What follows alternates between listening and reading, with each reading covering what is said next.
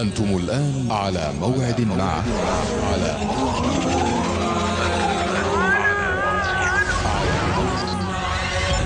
مع الله والدكتور غريب رمضان.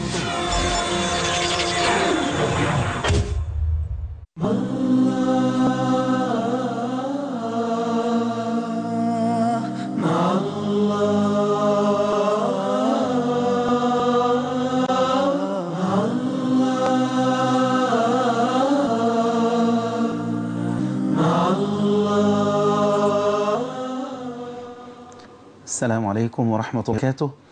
إن الحمد لله نحمده ونستعينه ونستغفره ونعوذ بالله من شرور أنفسنا ومن سيئات أعمالنا.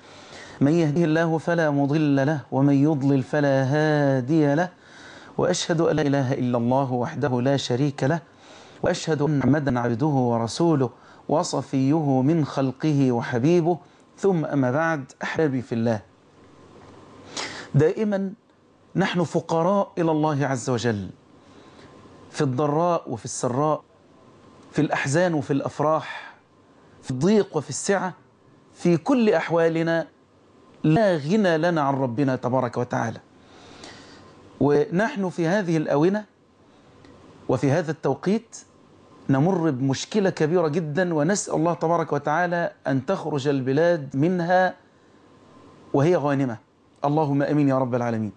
وكما أدعو ربي تبارك وتعالى أن يجنبنا وإياكم جميعا الفتن ما ظهر منها وما بطن. الحقيقة أحبابي في الله كنت يوم الخميس بتصل على أحد الناس ال ال الأفاضل. يعني دكتور كبير شوية اتحال على المعاش بحب أتواصل معاه. فقال لي إن هو كان في عمرة قلت له يا دكتور ادعي لمصر. طبعا يدعي لمصر والأمة الإسلامية ككل فقال لي والله أنا كنت في عمرة ونسيت ولادي ونسيت أهلي ونسيت الدنيا كلها وقعدت أدعي للبلد إن ربنا عز وجل يجنبها الفتن ويوحي الكلمة على أتقى قلب رجل منها. طبعا هو قلب ألفاظه إنما معنى الكلام. فأنا بقول حبايبي في الله إحنا ما من شك إن إحنا في مأزق في مشكلة كبيرة.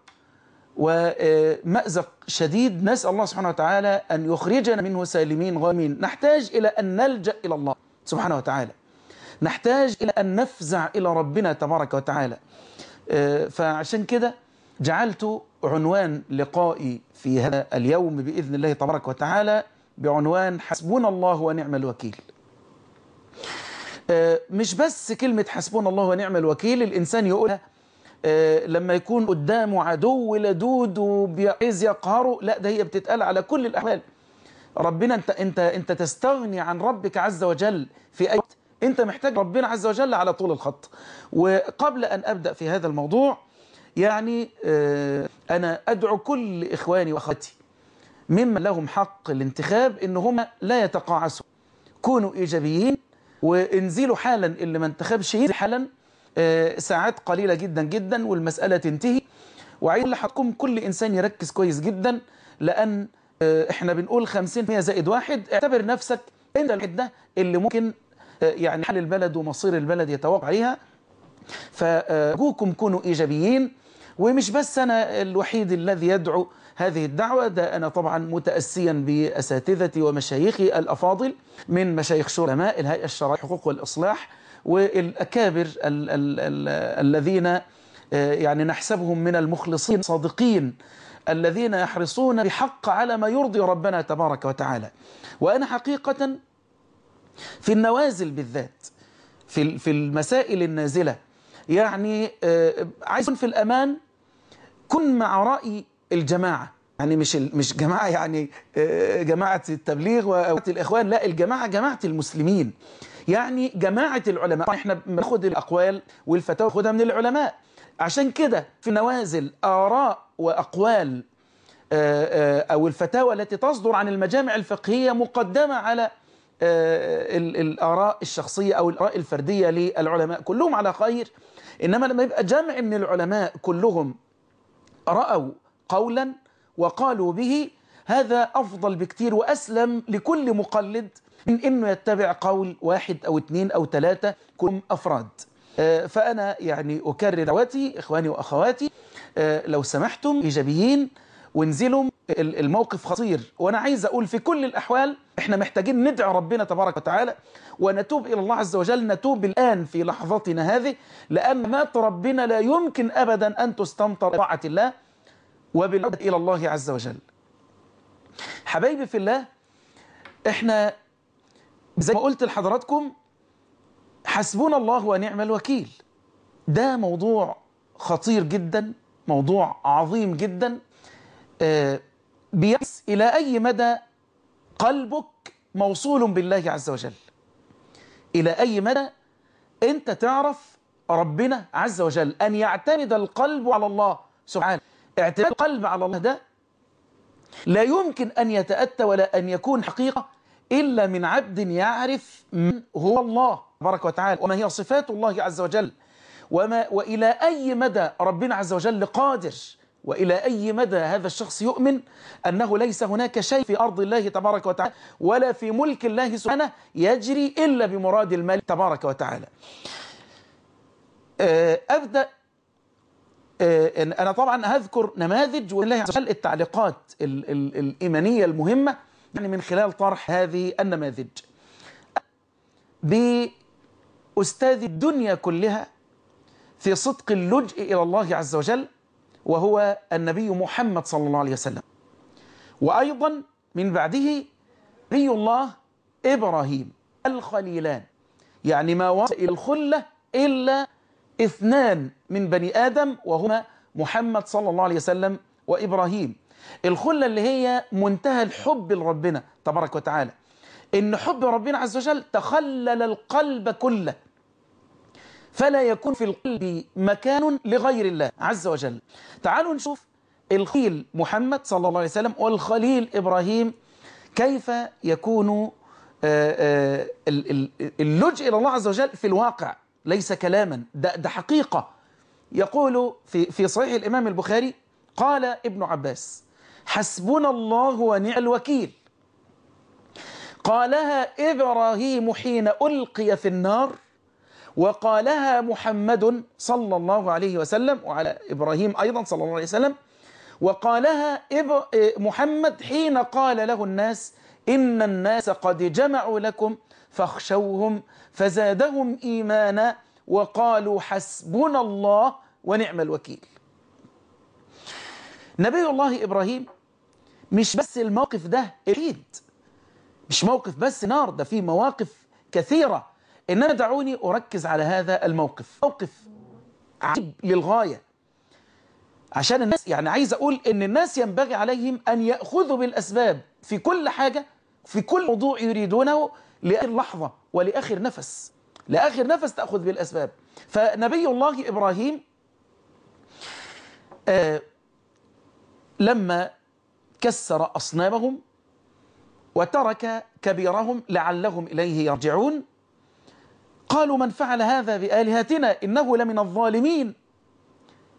فقال أحدهم سمعنا فتى يذكرهم يقال إبراهيم يعني بيستحقره وبيستخف به.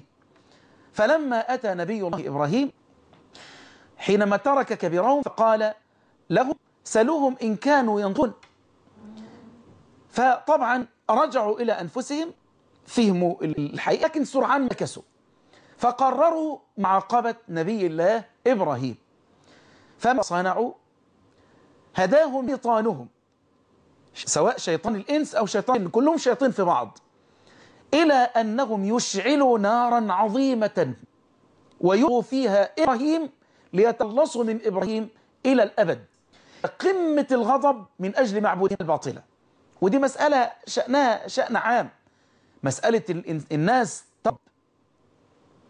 من أجل معبوداتها الباطلة ده شأن عام. بس بيكون مقتنع باللي بيعبد كده بيدافع عنه باستماتة واللي يقف ضده ممكن يعمل أي حاجة عشان يتخلص منه. فهم هنا أشعلوا نارا عظيمة كانت ألسنة اللهب تسقط الطائرة المحلق في السماء لما يعدي من فوق هذه النار. ألسنة اللهب بس شدة الحرارة.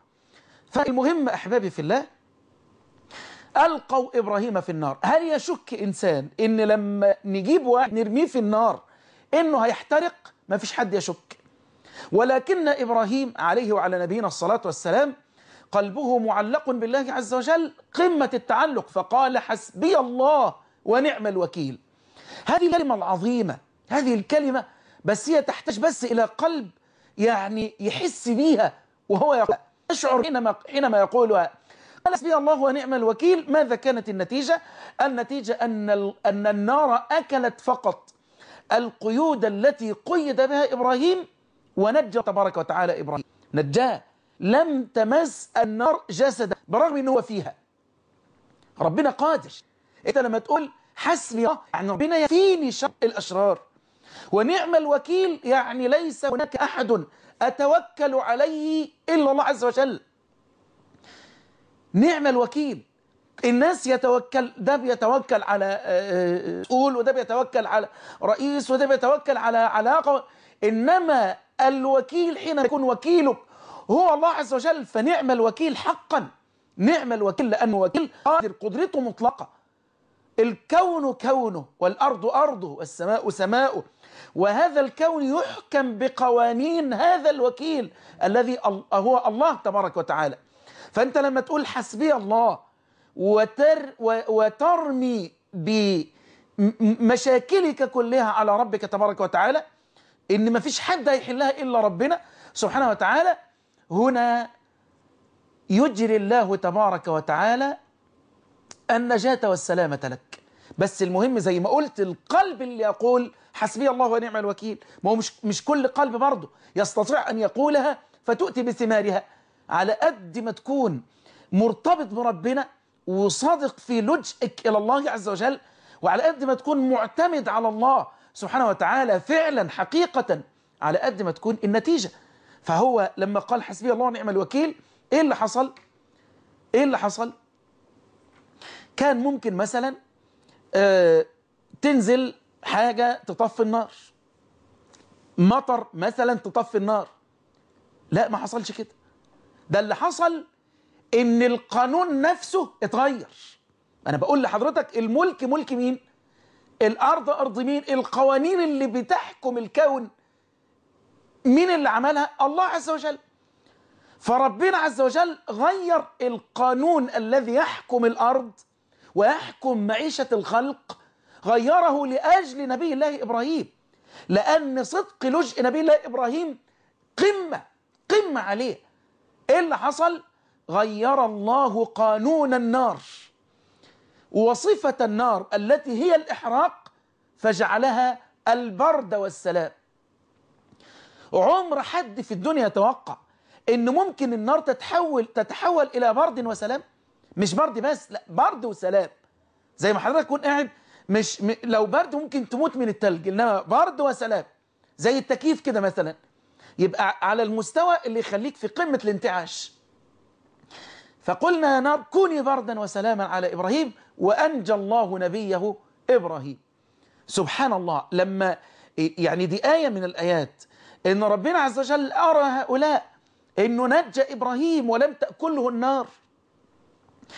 برضه لم يتعظوا ولم وواصل إبراهيم رحلة الجهاد. الجهاد في الدعوة إلى الله عز وجل. ورزقه الله عز وجل بإسماعيل وإسماعيل وليد صغير. أخذه هو وهاجر إلى مكة وإلى جوار البيت ووضعهما. معهما قليل من الطعام والشراب. وترك هاجر وترك إسماعيل ومضى. فطبعا يعني مكان ليس هناك فيه إنس وليس هناك فيه أنس. ما فيش بشر. الناس تبص كده ما تلاقيش حد. لوحدها هي وابنها وإبراهيم عليه وعلى نبينا الصلاة والسلام حطهم كده والتفت راجعا. وتاركا هاجر وإسماعيل. تاركا هاجر وإسماعيل. فتجري هاجر وتمسك بإبراهيم. يا إبراهيم إلى متى تتركنا؟ فلم يرد. يا إبراهيم لمن تتركنا؟ لمن تتركنا؟ فلم يرد عليها. فقالت له يا إبراهيم آه الله أمرك بهذا؟ فقال نعم. فقالت بملء القلب قبل الفم. إذا لن يضيعنا. شايفين حضراتكم الإيمانيات العالية؟ التوكل العالي اللي عليه نبي الله إبراهيم والتوكل العالي اللي تعلمته هاجر من نبي الله إبراهيم. قالت إذا لن يضيعنا. ومضى إبراهيم. حاجة عجيبة جدا. مضى إبراهيم تاركا هاجر وتاركا إسماعيل. فأتى جبريل فسألها فقال لها من أنت؟ فقالت أنا أم ولدي إبراهيم. أن إبراهيم معروف عند الملائكة. فقال لها إلى من وكلكما؟ إلى من وكلكما؟ يعني هو سابكوا لمين؟ سابكوا لمين؟ مين بيحميكم؟ مين بيتولى أمركم؟ مين بيدافع عنكم؟ مين بيدفع الشرور المحتملة في هذه الصحراء القاحلة عنكم؟ إلى من يترككم؟ حتى إذا نضبت المياه ونفد الزاد والطعام إنه يجيب لكم الطعام ويجيب لكم الماء إلى من وكلكما؟ فقالت إلى الله. فيرد جبريل قائلا وكلكما إلى كاف. أيوة إلى كاف. ربنا عز وجل هو الذي يكفينا. عشان كده زي ما بقول لحضراتكم الكلمة التي قالها إبراهيم حسبي الله ونعم الوكيل. حينما ألقي في النار ما كانش موقف. لم يكن موقف في في ده, ده ديدا حياة. منهج حياة في كل أحواله. حسبي الله ونعم الوكيل. إحنا زي ما بقول لحضراتكم إحنا عايزين الكلمة دي تكون في حياتنا في السراء وفي الضراء. في الأحزان وفي كل الأحوال. إحنا وإحنا يعني مثلا محتاجين لربنا في الشدة بس. محتاجين لربنا عز وجل في الأحزان بس. ده إحنا محتاجين لربنا في كل الأحوال. ده كان من دعاء النبي عليه الصلاة والسلام ولا تكلني إلى نفسي طرفة عين. لأن دي الحقيقة. من وكله الله عز وجل إلى نفسه طرفة عين ضاع وهلك. دي إطلالة سريعة على نبي الله إبراهيم. طب تعالوا بينا على محمد عليه وعلى نبينا الصلاة والسلام. لما قال حسبي الله ونعم الوكيل أو قال حسبنا الله ونعم الوكيل حينما قال له الناس لهم المشركون الذين أرسلهم أبو سفيان والمنافقون. يعني الاثنين. قالوا للنبي إن الناس قد جمعوا لكم فاخشوهم. الموقف ده كان إمتى؟ الموقف ده كان في قبل غزوة حمراء الأسد.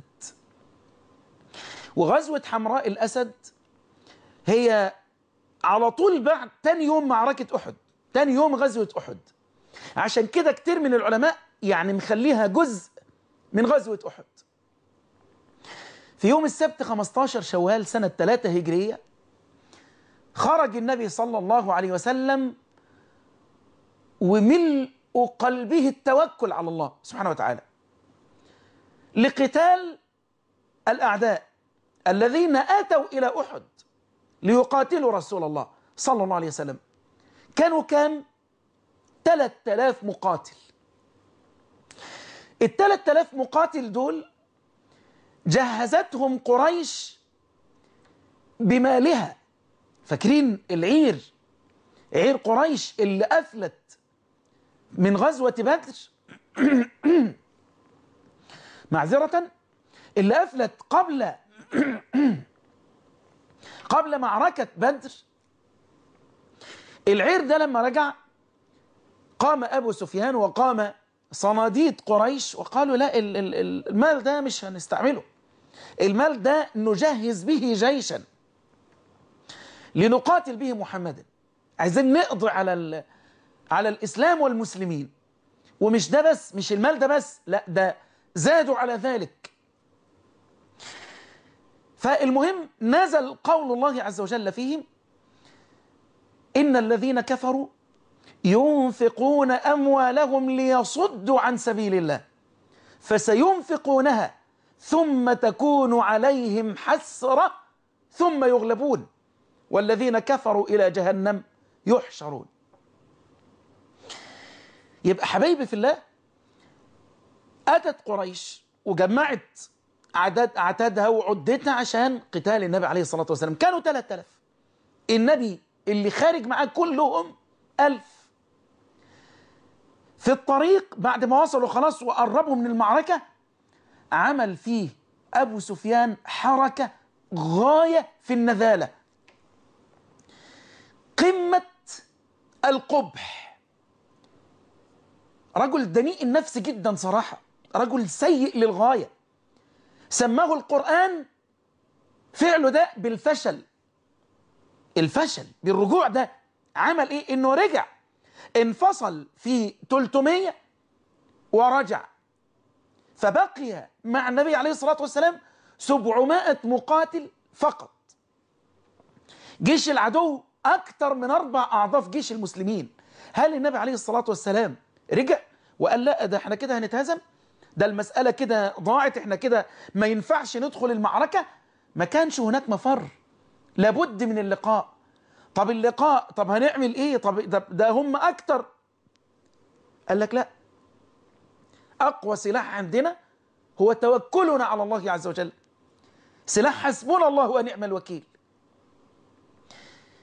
فقام النبي عليه الصلاة والسلام وقاتل القوم وحصل اللي حصل من مخالفة الرماة لأمر النبي عليه الصلاة والسلام.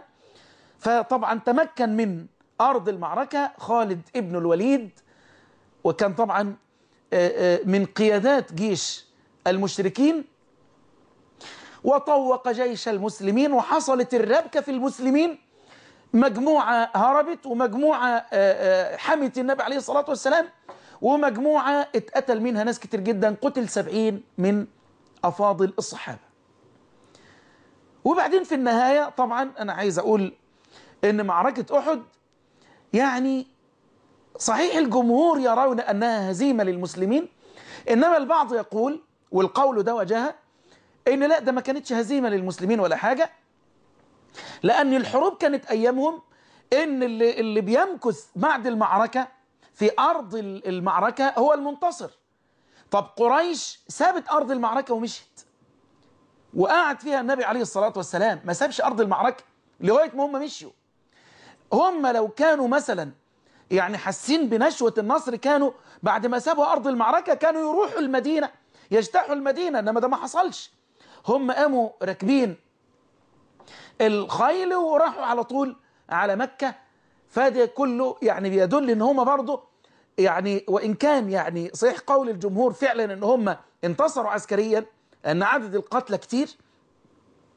إنما ده بيدل برضه إن هم جواهم انكسار. يعني جوه جيش الكفار انكسار. المهم الدليل على كده إن هم ما راحوش على المدينة راحوا على مكة. الدليل على كده إن هم ما قعدوش في مكان المعركة اللي قعد فيها بعد نهاية المقتلة النبي عليه الصلاة والسلام. يبقى خلصت كده معركة أحد وخلاص راح الكفار لبلادهم. تاني يوم وصلت الرسالة من أبي سفيان للنبي عليه الصلاة والسلام إن هم تجمعوا وعازمون على الرجوع مرة ثانية للقضاء على النبي عليه الصلاة والسلام ومن معه. فالنبي عليه الصلاة والسلام تصرف تصرفا قد يستغرب منه الكثير الذي لا يحسن استيعاب المعاني التربوية العالية الراقية. قد لا يحسن استيعابه من لا يستشعر قيمة التربية العقائدية العالية. الرجل بأمة لما يكون على عقيدة صحيحة صافية. النبي عليه الصلاة والسلام مع إن أصحابه شايفين لا زالت مشاهد المعركة المعركة والذبح والدماء تتراقص أمام أعينهم. ده رقم واحد. برغم إن العدد بتاعهم أقل لأن قتل منهم من قتل برغم إن النفسية من أثر فقد الأحبة يعني متأثرين جدا جدا. شوف حضرتك اللي بيموت له واحد في, في أسرته حبيبه بيبقى قاعد خالص كده مش قادر يتحرك ولا قادر يعمل أي حاجة. ما عندوش همة يعمل حاجة. طب دول بقى مات قتل يعني مجموعة من أفاضل وأكابر الصحابة. فطبعا ده يعني من الأسباب القوية اللي تخليهم يعني يحسوا إن هم مش قادرين يقاتلوا. خدت بال حضرتك؟ وبرغم كل هذه ورقم أربعة ضيف على كده الجراحات التي أصيبت أصابت هؤلاء. لأن ما تظنش يعني إن هم آه، يعني آه، دخلوا المعركة وخرجوا كده. لا اللي مجروح هنا واللي مقطوع حتة هنا ودماؤهم لا زالت تنزف. وبرغم ذلك النبي عليه الصلاة والسلام يصدر هذا الأمر. ألا يخرج إلى لقاء الكفار إلا من قاتل بالأمس. مش عايزين حد غير دول. أنا عارف إن اللي, اللي, اللي بيسمع الكلام ده لأول مرة يستغرب. المفروض العكس إن يا جماعة خلاص اللي قاتل بالأمس يريح النهاردة وندور على مجموعة تانية. عشان نلاقي العدو وإحنا في قمة النشاط. أول ما وصل الخبر خبر أبي سفيان النبي عليه الصلاة والسلام قال حسبنا الله ونعم الوكيل. قال حسبنا الله ونعم الوكيل. كلمة دي كلمة عظيمة جدا جدا. الصحابة اللي تربوا على إن ربنا عز وجل حسبهم وكافيهم هم اللي هيقوموا الآن مع النبي عليه الصلاة والسلام. الصحابة اللي تربوا على العقيدة الصافية العالية هم الذين الآن يقومون مع رسول الله صلى الله عليه وسلم. نزل قول الله عز وجل فيهم أنهم استجابوا لله واستجابوا لرسول الله صلى الله عليه وسلم وخرجوا ليقاتلوا العدو. أه هقول لك القول بس بعد ما أقول لحضرتك إيه اللي حصل؟ ربنا عز وجل خذل المشركين عن رسول الله صلى الله عليه وسلم. قيض الله عز وجل رجلا يقول لأبي سفيان يذهب لأبي سفيان ويقول له لقد ندم من تخلف عن القتال مع محمد بالأمس وتجمعوا حول محمد صلى الله عليه وسلم تجمعوا حوله وهم عازمون على أن ينتقموا وأن يأخذوا بثأر إخوانهم الذين قتلوا. ففت ذلك في عضد أبي سفيان فلم يستطع أن يخرج لقتال النبي عليه الصلاة والسلام. ووصل النبي عليه الصلاة والسلام إلى حمراء الأسد ولم يعني يخرج إليه أحد. وبكده تكون اتحسمت الغزوة دي لصالح النبي صلى الله عليه وسلم. نزل وكفاهم الله عز وجل شر القتال. نزل قول الله عز وجل مزكيا الذين استجابوا لله والرسول من بعد ما أصابهم من بعد ما أصابهم القرح. للذين أحسنوا منهم واتقوا أجر عظيم. الذين قال لهم الناس قال لهم الناس إن الناس قد جمعوا لكم إن الناس قد جمعوا لكم فاخشوهم فزادهم إيمانا وقالوا حسبنا الله وقالوا حسبنا الله ونعم الوكيل. فانقلبوا بنعمة من الله وفضل لم يمسسهم سوء. واتبعوا رضوان الله والله ذو الفضل العظيم. واتبعوا رضوان الله. اتبعوا رضوان الله في استجابتهم للنبي عليه الصلاة والسلام. اتبعوا رضوان الله إن كل ما يأمر به النبي عليه الصلاة والسلام خير. ده شيء عجب عجاب. يحتاج لأن نتأمله طب العدد كبير. الناس جمعوا لكم. لا حسبنا الله ونعم الوكيل.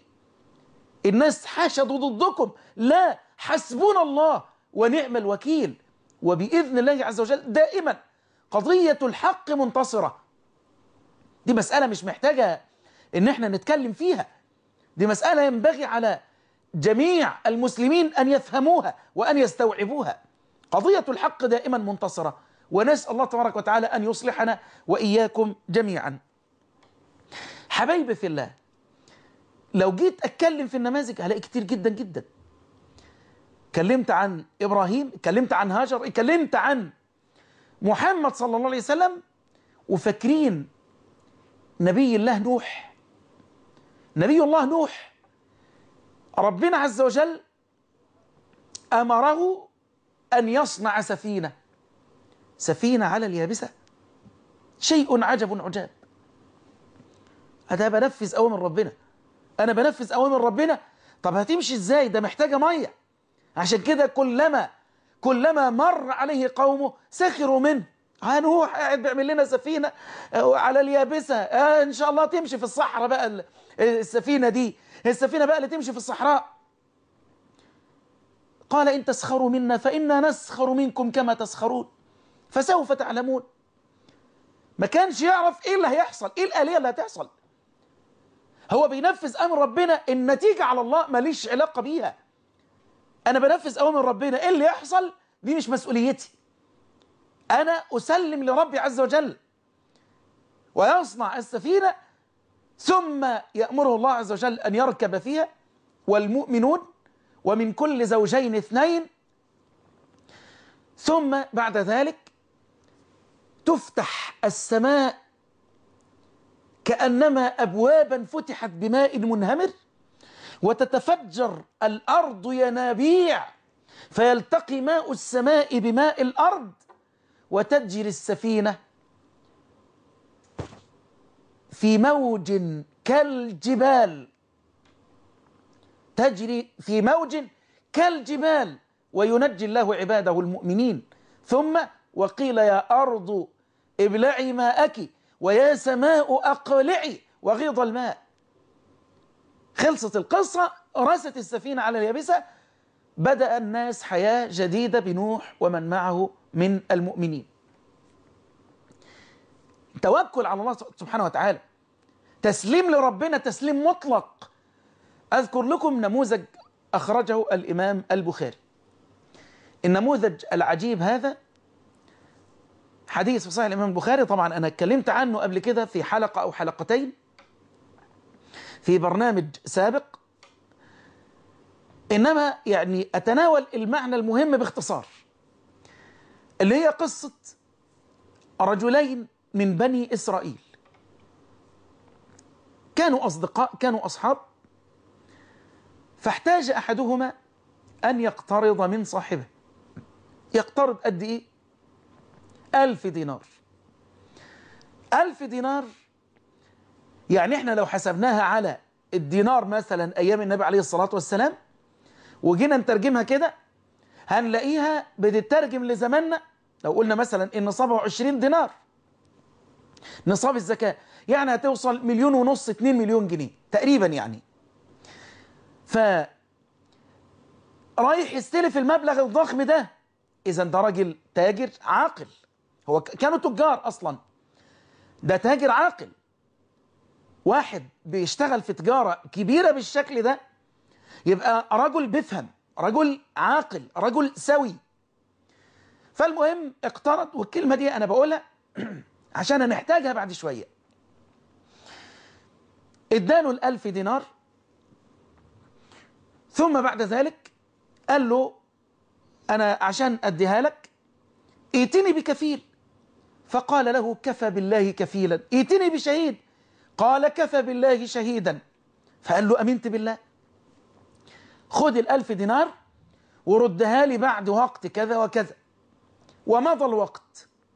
التاجر بفضل الله ربنا أكرمه وأتى بالألف دينار. كان عشان يوصل لصاحب المال كان لابد له أن يركب البحر. عايز مركب يركب فيها عشان يوصل الألف دينار لصاحبها. فوقف طول النهار ده واقف مستني مركب عشان ياخد الفلوس يديها لصاحبها وصاحبها واقف على الشاطئ أيضا ينتظر اليوم المحدد اللي هيجيب صاحبه فيها الفلوس الأموال بتاعته. وهنا أحبابي في الله انتهى اليوم. خلاص خلصت. فأتى الرجل اللي هو آه المدين وتصرف تصرفا قد يستغربه البعض. أنا مش مستغربه.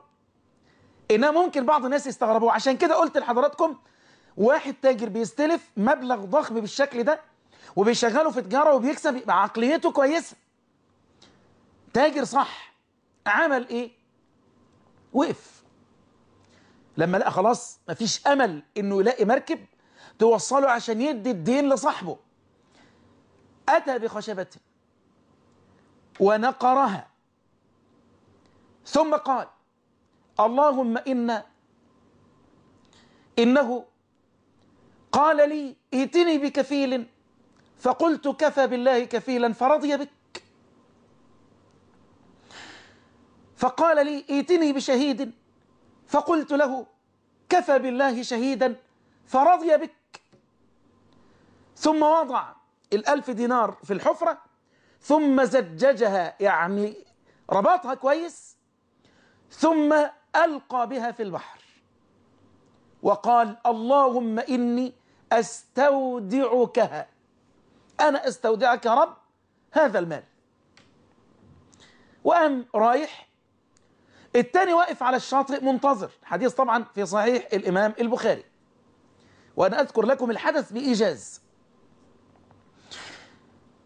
التاني واقف على الشاطئ خلاص لما يئس إنه الراجل هيوصل له فقام خلاص قال أنا هرجع. ولكنه رأى الخشبة فقام ممسك بالخشبة وخدها ومشي. قال يعني خلاص نستعملها تأتينا بطاقة أو أي استعمال.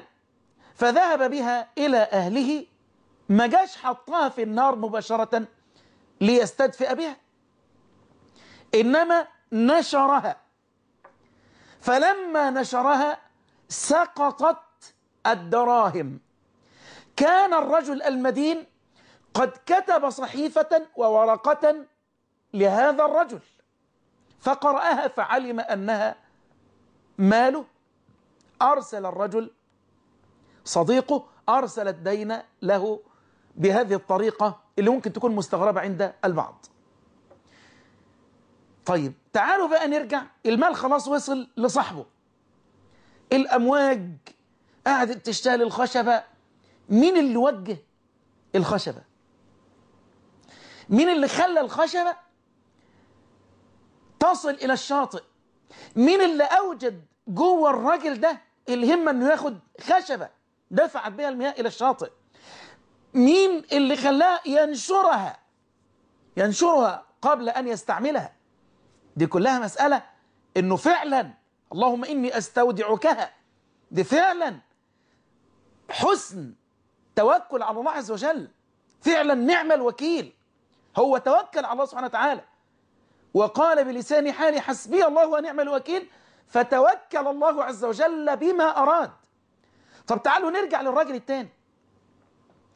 هل هو عمل كده والمسألة انتهت بالنسبة له؟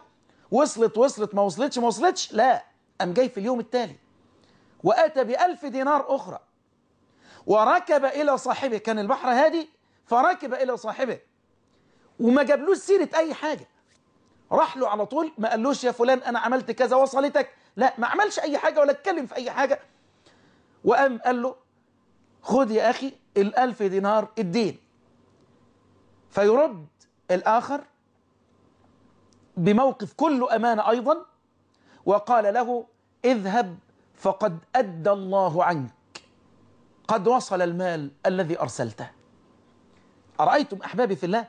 طبعا كتير من الناس ممكن يعني ما يقدرش يستوعب المسألة دي إنما أنا بقول لحضراتكم ناس أخلاق عالية ناس عقليات مش مش قليلة ناس تجار كوادر بيتصرفوا التصرف ده كان السبب الرئيسي توكلهم على ربنا تبارك وتعالى صدق اللجء إلى الله سبحانه وتعالى. يعني الناس في, في الأشياء العظيمة دي يلجأوا إلى الله عز وجل. وإحنا مش قادرين نلجأ إلى الله سبحانه وتعالى في الأمور الحياتية البسيطة الصغيرة. يعني ربنا يكفي عبادة يكفيهم حروب ويكفيهم أن يوصل الأموال عبر أمواج متلاطمة فتصل إلى صاحبها. وإحنا مش عايزين نلجأ إلى الله عز وجل. في الملمات والبلايا الصغار وقبل الكبار. حبايبي في الله إحنا محتاجين نحسن في توكلنا ولجئنا إلى الله عز وجل. محتاجين نرجع لربنا سبحانه وتعالى. أحبابي في الله النماذج كثيرة جدا. أتذكرون أحبابي حديث عكاشة ابن محصن؟ لما النبي عليه الصلاة والسلام قال تدخل زمرة من أمتي. هم سبعون ألفا. تضيء وجوههم على صورة البدر. كانوا مين دول؟ السبعون ألف الذين يدخلون الجنة بلا حساب ولا عذاب. ده حديث متفق عليه. حديث متفق عليه. الحديث له طرق أخرى. قام النبي عليه الصلاة والسلام قام عكاش بن محصن وقال ادعو الله أن أكون منهم يا رسول الله. فقال له أنت منهم. فقام رجل آخر فقال ادعو الله أن يجعلني منهم. يا رسول الله فقال له سبقك بها عكاشة. وهذا أيضا متفق عليه من حديث ابن عباس. أنا عايز أقول لحضراتكم حاجة مهمة. اوعى تتخيل. وإياكي أختي في الله أن تتخيلي إن دي كانت ضربة حظ كده وقف عكاشة بن محصن فقالها ففاز بيها لأنه هو اللي سبق. لا لا لا. المسألة مش كده. المسألة أن عكاشة فعلا منهم. المسألة أن ربنا أعلم النبي صلى الله عليه وسلم أن عكاشة بالفعل منهم. مش مسألة حظ. مش لو كان سبق الرجل الثاني عكاشة لكان فاز بها. لا المسألة مش كده خالص. الكلام ده ما لا يمكن أنه يفهمه عقل منضبط. إنما الفهم الصحيح إن ربنا أعلم النبي أن عكاشة منهم. فقال له أنت منهم. أن عكا لأن دي مسألة مش ما تجيش كده ما تجيش بكلمة. دي مسألة تحتاج إلى قلب متربي على العقيدة الصحيحة. قلب متربي على حسن الصلة بربنا تبارك وتعالى. عشان كده لما قال ادعو الله أن يجعلني منهم فقال له قال له النبي صلى الله عليه وسلم قال له أنت منهم. أنت من الذين يدخلون الجنة بلا حساب ولا عذاب. إحنا بنتكلم في معنى راقي جدا جدا. يجني الإنسان ثمرته في الدنيا قبل الآخرة. يجني ثمرته في الدنيا قبل الآخرة. طب في الآخرة إيه؟ في الآخرة حبايبي في الله في باب اسمه الباب الأيمن. الباب الأيمن ده بتاع المتوكلين على الله سبحانه وتعالى. بتاع اللي عاشوا طول عمرهم يقولون حسبنا الله ونعم الوكيل. الذين صدقوا في لجئهم إلى الله سبحانه وتعالى في كل البلايا وفي كل الملمات. وعلى طول الخط صادقين في اللجئ إلى الله سبحانه وتعالى. مؤمنين بربنا إيمان صادق إيمان حقيقي. الباب ده اسمه الباب الأيمن. يقول الله عز وجل يوم القيامة أدخلوا من لا حساب عليه من الباب الأيمن وهم شركاء الناس في باقي الأبواب. معنا اتصال؟ حاجة أم علاء؟ السلام عليكم. ورحمة الله وبركاته. وعليكم السلام ورحمة الله وبركاته. جزاك الله خيرا يا شيخنا غريب وإياكم. أولا حسبي الله ونعم الوكيل في أصحاب النفوس الضعيفة والإيمان الضعيف من الخونة والجواسيس والمنافقين الذين استحبوا الحياة الدنيا على الآخرة نذير حفنة من المال لا تسمن ولا تغني من جوع. فنسوا الله فأنساهم أنفسهم وكانوا غافلين. فلهم الخزي في الحياة الدنيا ولهم في الآخرة عذاب أليم. يا شيخنا غريب في غزوة بدر نحن نعلم أن الله سبحانه وتعالى إذا قضي أمرا فإنما يقول له كن فيكون نعم.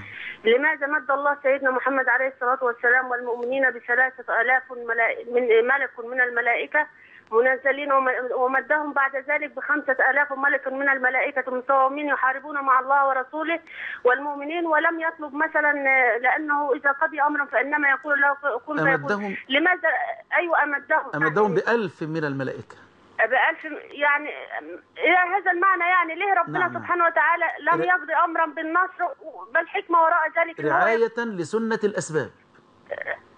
فأرجو توضح لي ذلك لو سمحت. أيوة نعم نعم وجزاك. الله خيرا. والسلام عليكم. ربنا يكرمك جزاكم الله خيرا.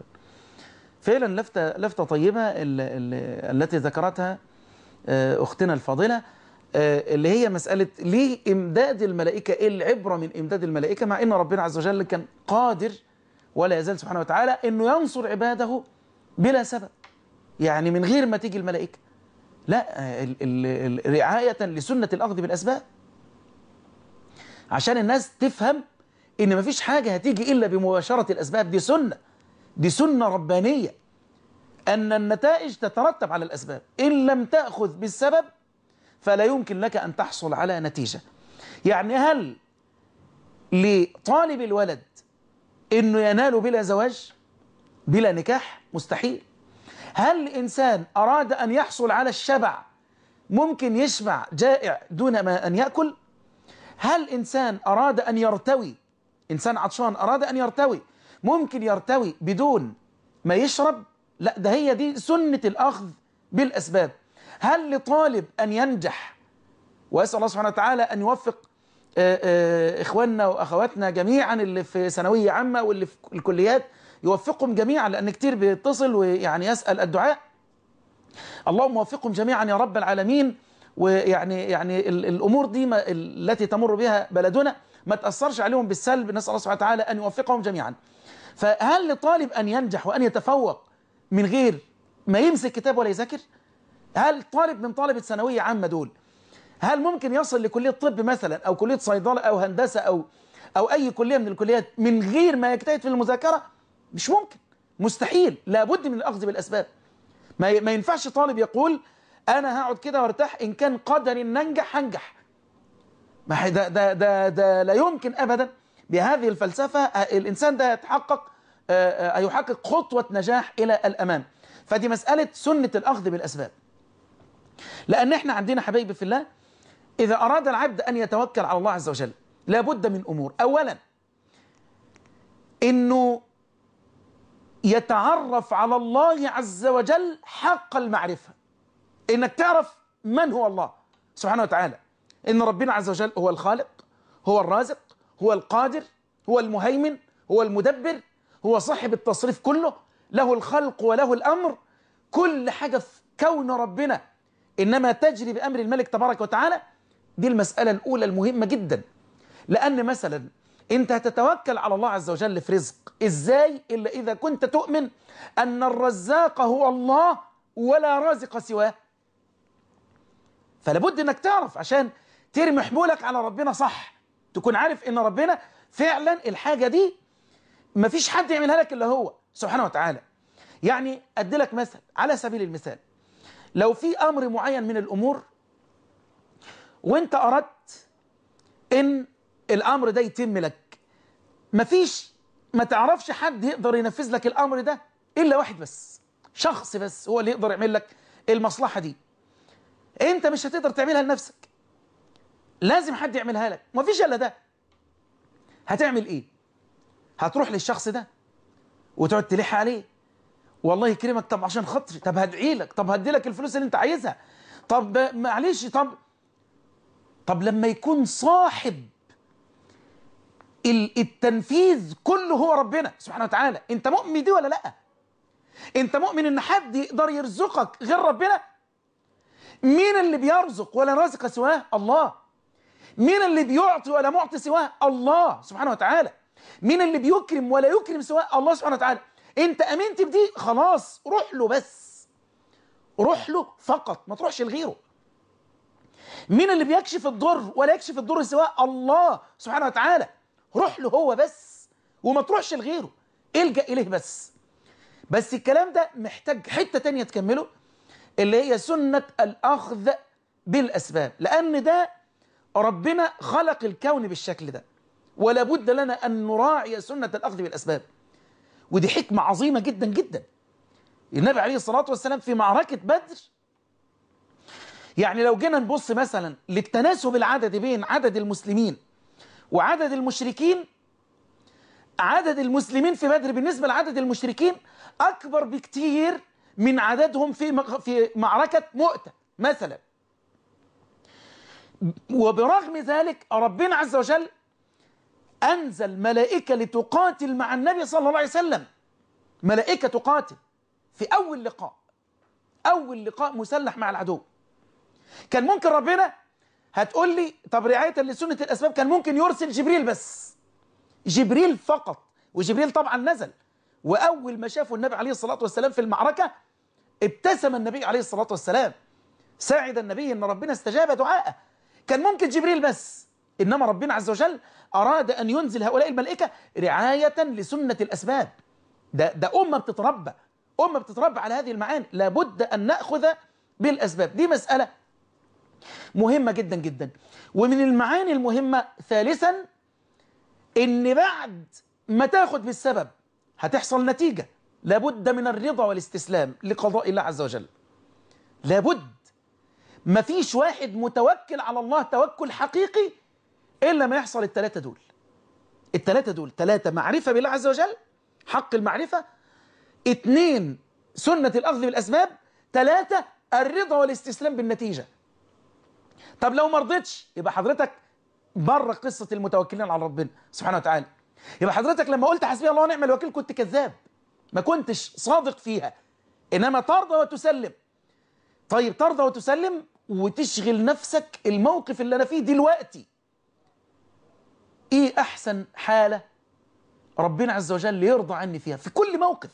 تسأل نفسك السؤال ده. ماذا يريد الله عز وجل مني في هذا الموقف؟ إزاي أحقق العبودية للرب عز وجل في هذا الموقف؟ دي مسألة غاية في الأهمية وغاية في الخطورة أردت أن أبثها لحضراتكم. المعاني الحقيقة الإيمانية كثيرة جدا جدا في هذا الصدد. إنما أنا حبيت النهاردة أن يكون الكلام سهل يكون الكلام سلس مدعم بال- بال- بالمواقف والأحداث آه، آه، بصورة كبيرة عشان بس المعنى يصل. المعنى اللي هو آخر حتة قلتها لحضراتكم اللي هي مكونات التوكل على الله سبحانه وتعالى عشان تبقى متوكل على الله سبحانه وتعالى بجد عشان لما تقول حسبنا الله ونعم الوكيل تكون الكلمة دي فعلا تنال أثرها لازم من الثلاث حاجات دول. واحد يعرف ربنا معرفة حقيقية. اتنين سنة الأخذ بالأسباب لآخر لحظة في حياتك والآخر لح- لحظة متاحة أمامك. عشان كده بأكد كل الناس تنزل تدلي بصوتها كن إيجابي. رقم ثلاثة الرضا والاستسلام. لأن لا يمكن أبدا الإنسان لا يرضى بقضاء الله عز وجل ثم نقول عنه إنه آه، كان صادق في قولته حسبي الله ونعم الوكيل. ولا يمكن أن نقول عنه إنه كان صادق لما قال أنا متوكل على الله عز وجل. في آه، الدقيقة والدقيقتين اللي لسه وأعتقد يعني الحلقة ما عادش فيها أكتر من كده عايز أختم الحلقة دي بدعاء إلى الله عز وجل لأن إحنا آه، يعني بصراحة في أمس الحاجة إلى الدعاء وفي أمس الحاجة إلى أن ننكسر إلى الله سبحانه وتعالى. لأن آه، عشان ربنا عز وجل يعطي العبد بيعطي للمنكسر. اتذلل لربنا. افتقر إلى الله تبارك وتعالى. إنما الغطرسة وإنك تحس إن أنت خلاص حزت دي ما ده ده اللي يتغطرس. واللي يتعالى واللي يتكبر بنعمة الله عز وجل اعلم بأنها سرعان ما تزول. النعمة دي مش هتستمر. إنما دايما عايز حبايبي في الله كل ما تجي لك نعمة انكسر الله سبحانه وتعالى. تجي لك نعمة تانية انكسر أكتر. وعلى قدر كثرة النعم على قدر الانكسار. كده تدوم النعمة.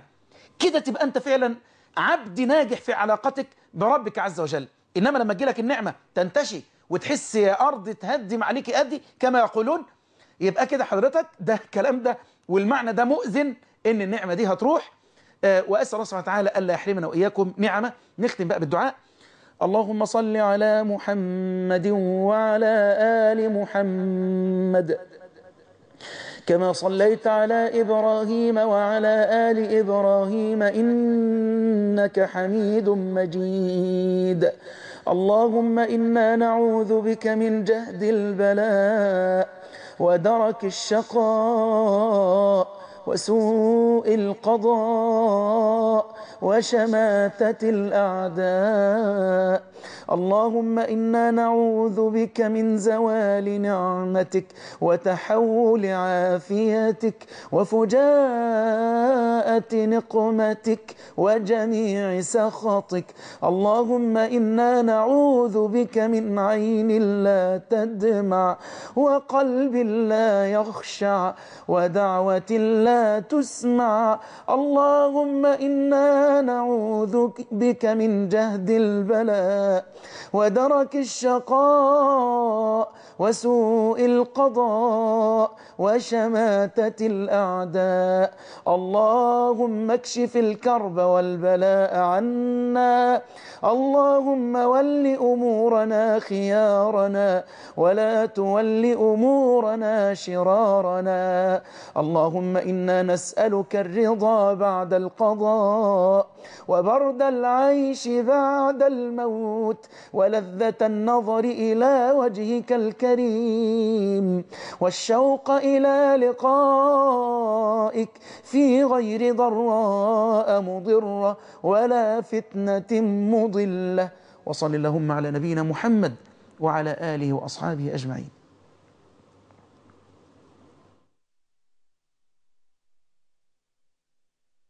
Oh.